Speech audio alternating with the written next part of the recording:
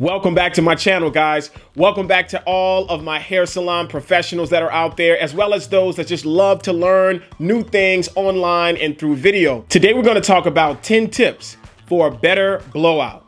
Let's get it going. Tip number one, detangling prior to even getting started with the service. Guys, when we're doing blowouts, when we're doing natural hair, uh, the hair is shedding sometimes 100 strands per day whether you're at home doing your hair yourself, whether you are actually styling or doing a blowout on somebody, or whether you're a professional inside of the salon, we've got to be mindful that right now, so many of the ladies that are out there are natural, meaning they're relaxer free, right? So we got to be mindful to take that shedded hair out of there. Those beautiful lush curls, uh, they can be a challenge if we actually put water on them when we get started with the blowout and we haven't detangled and actually taken any loose hairs that's there from shedding sometimes weeks or even months prior to getting a wet service or prior to getting a wet set service or a blowout or a silk press, make sure that you got all of those shedded hairs out before you get started. Tip number two, lightweight products. For years, as a professional in the salon, what we actually used were products that were designed to work on relaxed hair, right?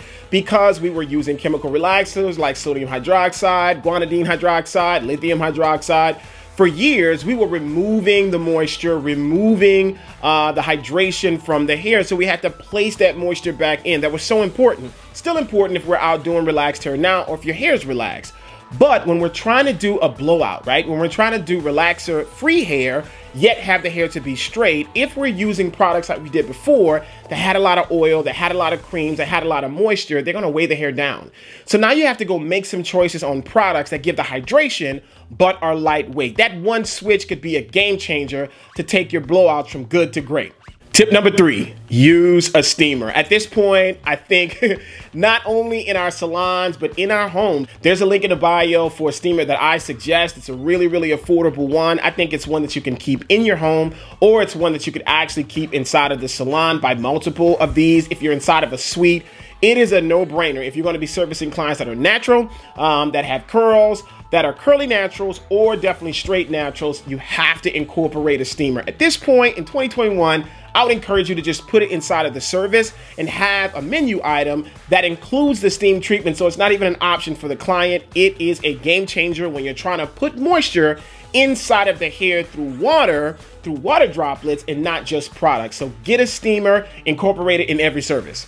Tip number four, Leave-in conditioner, guys, I would encourage you to use a water-based leave-in conditioner. For years, I used creams.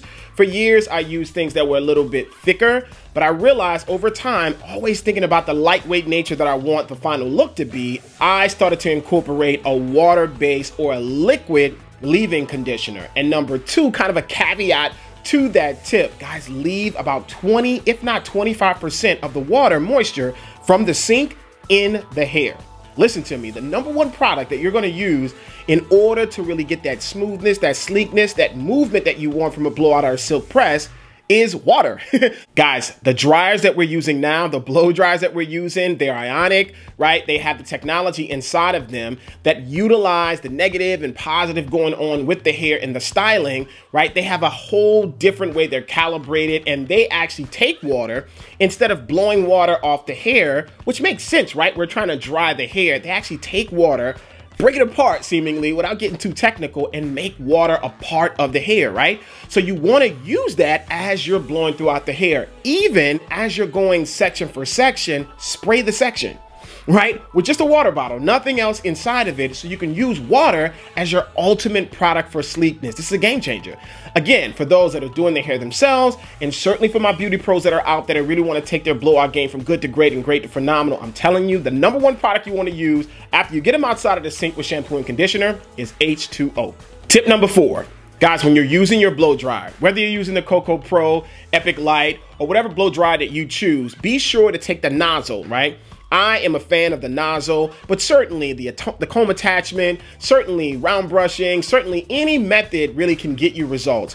But when you're using the blow dry, especially for coily to kinky coily to really highly textured hair, you know, tons of beautiful curls that are out there, you really want to take the blow dryer and blow from north to south. This is so important, right? You're actually blow drying the hair, not air form or the air pressure at the hair or from the side or from the right, but really focus the air, right, from the top, really from the root of the hair down to the floor, keeping that nozzle pointed to the floor.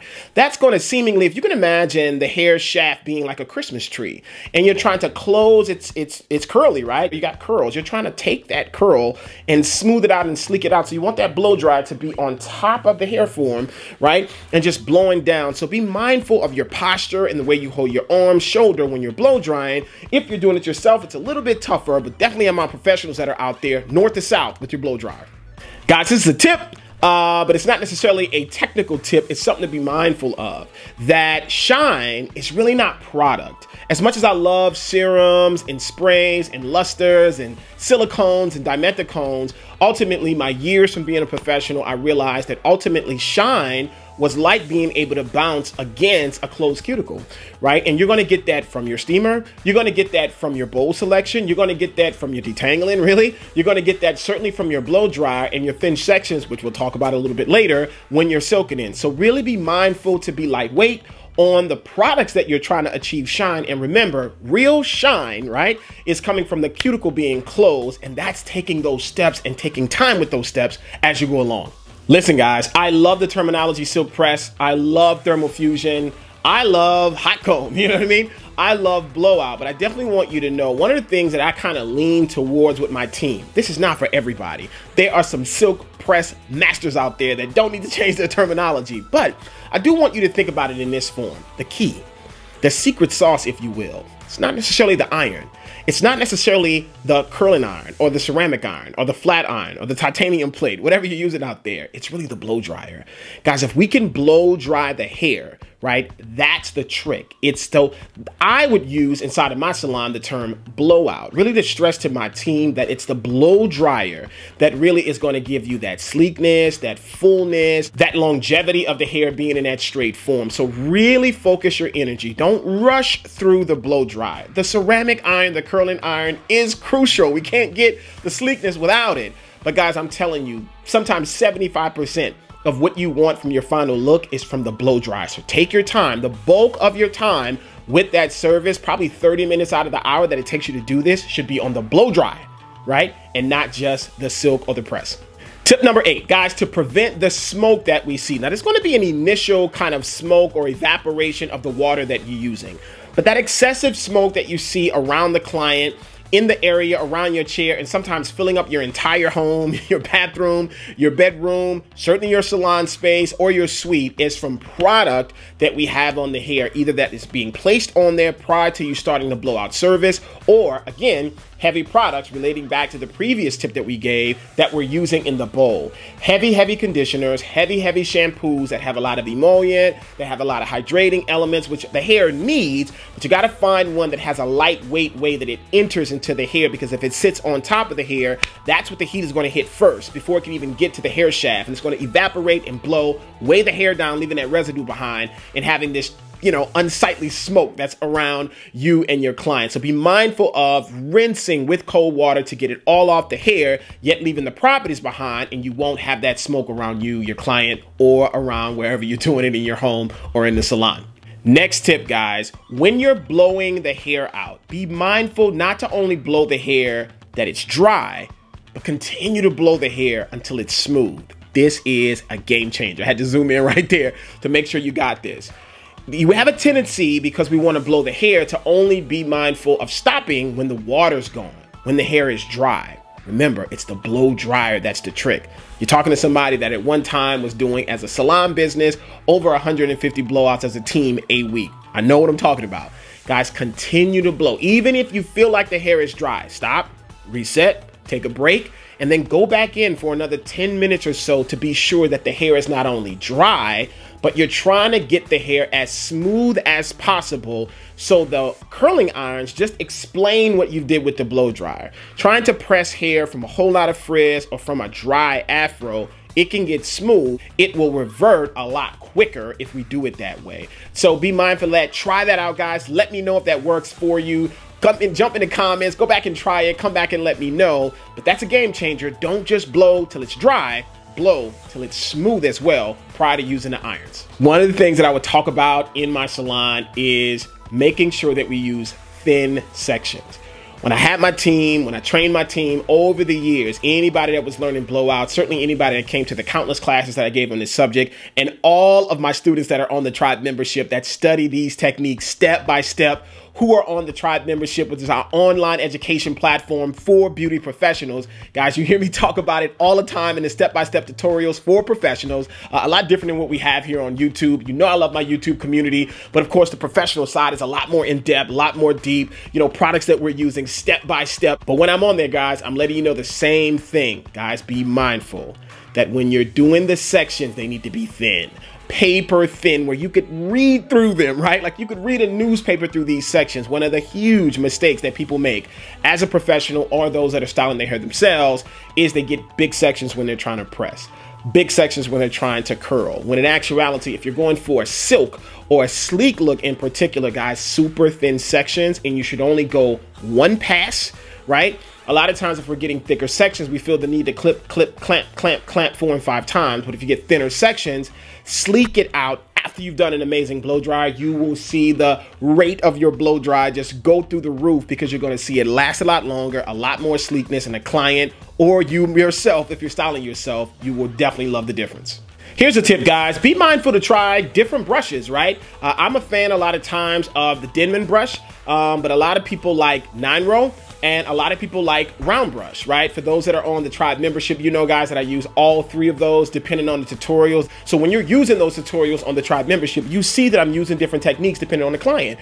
Uh, but depending on your hair texture, grab a couple different brushes. Your blow dry is not going to change. Your curling iron is going to probably stay the same. Your shears are going to stay the same if you're trimming your own hair or if you're styling in a salon or you're a professional, but you can get a different look by the brushes. So guys, invest in some good brushes, be it a 9-row, be it a round brush, or or a vent brush like a paddle brush is another way that they call that. Again, guys, Cocco Pro is an excellent company that's out there for all of my community that's out there. You guys can utilize a 20% off coupon code where they have brushes and irons and that Epic Light blow dry that I told you, as well as shears, just a ton of different tools that you could use for yourself, certainly as a professional, those that are out there inside of suites, um, those that are in cosmetology school, check out Cocco Pro and check out the things that are available and use my 20% off discount code for anything that you get on the website. And lastly, guys, pretty much everybody knows this, but it's worth repeating. When you want to prolong that service, right? Blowout, silk press, thermal fusion, whatever you're getting or whatever you've done for yourself, silk scarf is what you want to use. And here's something I want to just, another tip on top of that. Maybe have about two or three.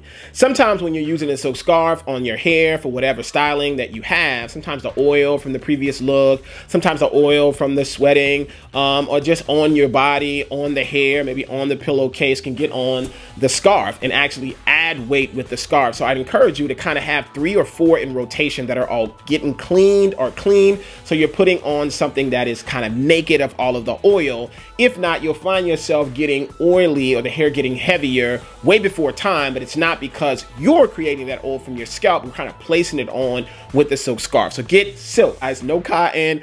I'm not even a huge fan of satin, even though I know satin works. Try to invest in some great silk scarves from your store, from your department store, wherever you want to get them from, and keep about three or four in rotation. That's all we got for you today, guys, on these tips on getting a better blowout. Again, guys, leave a comment. Let me know. Excited to hear from you. Drop a comment below. You've got my word. I'm going to be back here on YouTube full force, but use this video, guys. Share this out. Let me know what you think in the comments, and I'll be back with more tips on how we can all get better. To my beauty professionals and to my professional hairstylists that are inside of salons, inside of salon suites, to my future professionals that are out there inside of cosmetology schools, ready to get a jump on their career inside of the beauty industry, guys, click the link inside of this description and look at the benefits of joining the Tribe membership. It is an online academy of education that I've created. We're in our fifth year, guys. We're excited. Shout out to all of my Tribe members that are out there. Guys, it's an online academy, right? This is a hair show in your pocket, right? This is a hair show in your hand. Online access to over 52 tutorials,